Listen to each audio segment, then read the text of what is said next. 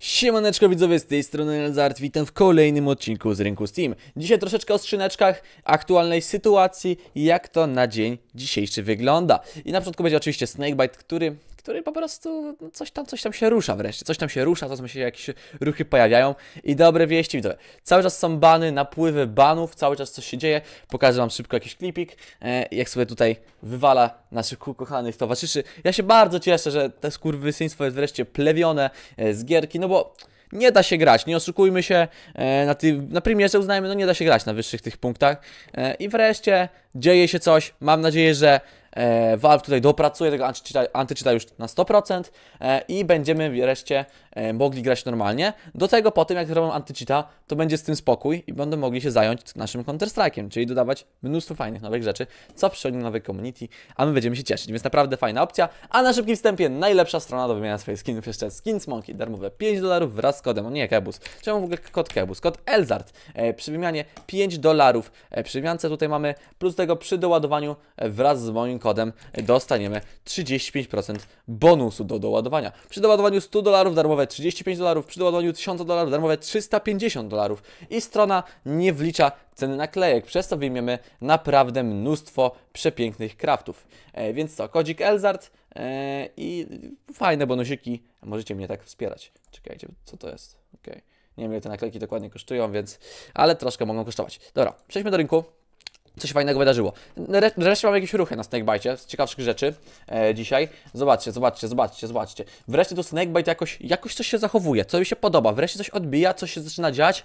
Jest coś pozytywnego. Znaczy, no to nie jest może jakiś gigantyczny wzrost, ale jak kupowaliście po 80 groszy skrzynkę, no to to złoty 10 sprzedać, to już jest nie najgorzej, bo tu już mamy zarobek rzędu jakieś 15, 15 groszy, więc no póki co nie jest tutaj najgorzej e, na skrzynce.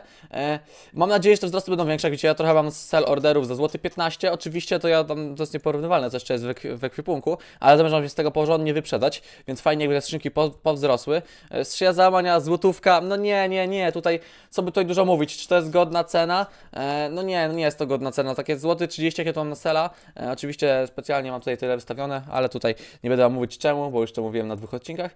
E, więc tutaj ta cena jest no niska, jest za niska, nie, nie, nie oszukujmy się, tutaj na skrzynię załamania, znaczy, no dobra, nie dziwi mnie też to pula dropów i tak dalej, ale e, promocja, no i, i kogoś to dziwi, mnie to nie dziwi oczywiście. E, kilowatt case, też może ciekawa rzecz, który sobie mocniej spadł w tamtym tygodniu, sobie chyba niż w tym, no nie no, podobnie, ale podobnie mocno sobie spadł tutaj, e, co teraz, my zobaczymy teraz pewnie jeszcze bardziej upadnie. No, mi się zaraz kończy blokada na Steamie, e, to mam dwie już te skrzynki dropnąłem w ogóle, tak grając sobie, więc muszę sprzedać. Mm Ciekawe ile to będzie kosztować, jak będę mógł to sprzedać za dwa dni. A nie no, pisałem za piątkę się uda to sprzedać e, generalnie i sprzedawajcie za tyle, bo tyle da rady to sprzedać. E, jak to generalnie wygląda jeszcze ze skrzynkami mm, z puli dropów? E, zaraz sobie sprawdzimy. Mm, a wciąż mieliśmy rewolucji. Mm, czekajcie, czekajcie, czekajcie. Tu mamy klacza, e, tu mamy jeszcze rewolucji. No jak widzimy te skrzynki z puli dropów cały czas są na takiej mm, strefie spadkowej, czy to załamania, czy to skrzynia rewolucji, czy to nowa, no, nowa skrzynia to nikogo nie dziwi, no bo jednak leci w dół, e, ten odrzutu chyba też spada, więc tak naprawdę e, pula dropów spada ze względu na to, że jest promocja na Kopenhagę, tak? E, głównie dlatego. E, wiadomo, pewnie argumenty są też inne, na to wpływają, ale jednak to jest jeden z takich moim zdaniem najmocniejszych argumentów. Swoją drogą skrzynia odrzutu 69 groszy, zobaczcie to. Najniższe teraz spadki, jakie były po 65 groszy za skrzynkę. No, powiem tak, skiny czerwone są nie najgorsze. No, musicie ocenić, czy dla Was glowsy to są spoko, ale kurczę, wiem, że zimny gradient się bardzo ludziom podoba. No nie no, skiny nie, nie ma takich złych, ta, ta skrzynka, jak dla społeczności oczywiście, e, ale no, no cena jest naprawdę bardzo, bardzo e, niska jak na skrzynki. Nie, inaczej, skrzynki nas do tego nie przyzwyczaiły, żeby tak wyglądała cena. Tak bym to określił. E, breakout też mówiliśmy, bardzo fajnie wygląda aktualnie sytuacja. Eee, kleczysko, czekajcie, kleczysko chciałem wejść. 2.04, eee, tutaj trochę na sela. Stabilnie, stabilnie, nie ma tych spadków, czyli e, tendencja nie jest taka sama jak widzimy na skrzynkach z dropów, to jest trochę inna tendencja, bo to, że ceny się trzymają na skrzynkach zwykłych, niektórych rosną, typu na breakoutie, więc tutaj jak widzimy skrzynki zachowują się aktualnie różnie, Snakebite też rośnie, rośnie zależy to od skrzynek, e, bardzo mi się podoba ta sytuacja.